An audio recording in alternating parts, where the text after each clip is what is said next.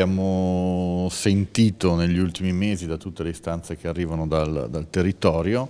eh, che occorre affrontare la problematica del rapporto tra le valli, tra le zone chiamiamole eh, periferiche del Trentino e le loro problematiche che vivono quotidianamente. Quindi noi iniziamo un uh, percorso sul territorio, uh, nelle zone principali, si tratta di sei o sette appuntamenti